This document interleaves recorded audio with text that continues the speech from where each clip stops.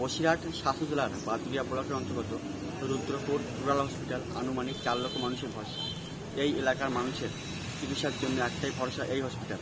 এই হসপিটালে চিকিৎসার জন্য আসা রোগীর পরিবারের পানীয় জলের জন্য সমস্যার সম্মুখীন হতে হয়। এখন খাওয়ার পানি হাসপাতালে তো সব অকেজি হয়ে রয়েছে, এই সব কন্ট্রোল।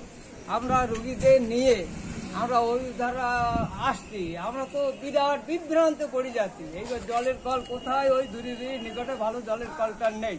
এই জলের জন্য আমরা খুব সমস্যায় ভুগছি। পানীয় জলের সমস্যা সমাধানের জন্য আমরা রুদ্রপুর রুরাল হাসপাতালের বিএম ওয়াই স্যারের কাছে আবেদনের মাধ্যমে জানাই, বাদুড়িয়া রুদ্রপুর হাসপাতালে কখন কোন ডাক্তার ডিউটি করছে সেই সংক্রান্ত তথ্য জনসম্মুখে আনার জন্য এবং কোন কোন ডিপার্টমেন্টের ডাক্তার রুদ্রপুর হাসপাতালে আছে সেটা জনসম্মুখে আনা হলে সাধারণ মানুষের হাসপাতালে এসে ডাক্তারের সময়সূচি ও কে কোন বিভাগের ডাক্তার তা জানতে বা বুঝতে সুবিধা হয়।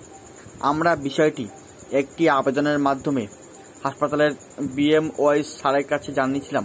সেই ফলো আপের জন্য পুনরায় হসপিটালে আসা হয়। বৃষ্টি হলে হসপিটাল চত্বরে বৃষ্টির জল জমে থাকে যার ফলে রুগী এবং রুগীর পরিবার সমস্যার সম্মুখীন হয়।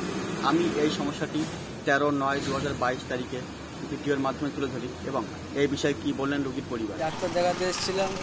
যা জলের পরিস্থিতি এভাবে রুগী দেখানো সম্ভব? আমি একটা ইঞ্জেকশন দিতে এসেছিলাম। যদি একটা এমার্জেন্সি রুগী আছে কীভাবে কী করবে এই জায়গায়?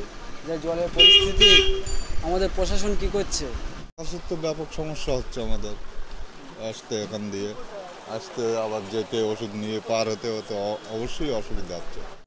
এই হাসপাতালের বিএমওয়াইস পরিবর্তন হওয়ায় আমি এবং স্বাস্থ্য হাসপাতালের টিম বাদুরিয়া রুদ্রপুর হাসপাতালে যায় এবং বিএমওয়াইস সাথে কথা বললে উনি বললেন সিএমওয়াইস এর সাথে কথা বলতে।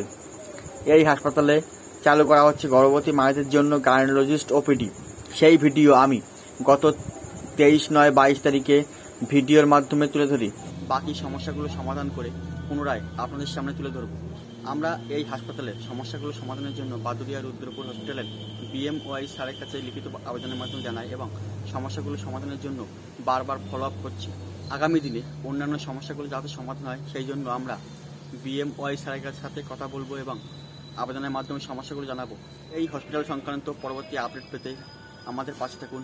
পশ্চিমবঙ্গের চব্বিশ থেকে আমি মিলন মণ্ডল, স্বাস্থ্য হাসপাতালের পক্ষ থেকে।